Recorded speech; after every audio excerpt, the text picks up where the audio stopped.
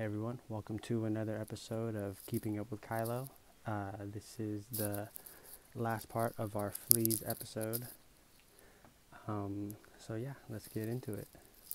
So I asked the vet what I was doing wrong, and they told me that the flea drops weren't working because they just prevented new fleas from coming onto him, but not killing the larva and the eggs and the shampoo I was using just wasn't doing that either. I was just using regular shampoo, um, as I talked about in the first episode about fleas.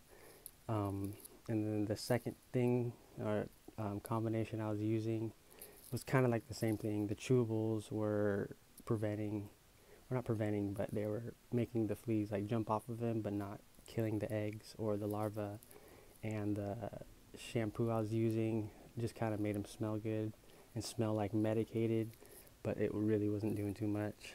Um, so I that's kind of where all the problems were stemming from. It just wasn't actually attacking the the source of the problem.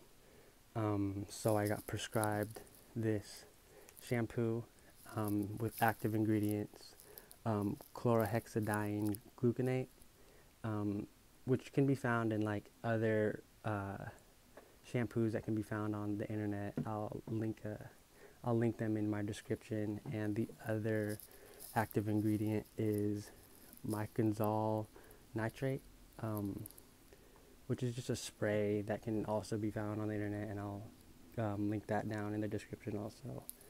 Um, but using this, uh, I was prescribed um, to give him a bath every three days for two weeks, and I followed that um, very strictly, and it worked night and day. Um, I gave him the bath. I gave him the NexGard um, chewables, and it was just night and day. I'll show you guys a quick look at where we're at with that. So here's just the proof. We got rid of everything. It's just normal, you know, what it is. So just an overview. Um, they tried prescribing me other things I didn't actually think that I needed, so I didn't um, accept them.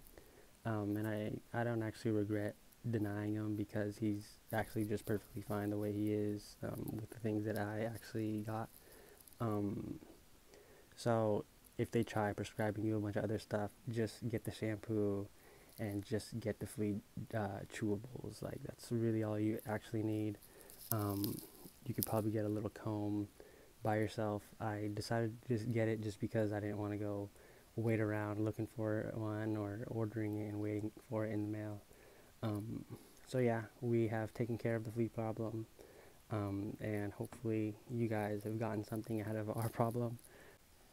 If you guys got any value out of my videos, please like and subscribe to the page. Um, a lot of content coming this year. I have the goal of reaching a thousand subscribers by the end of the year.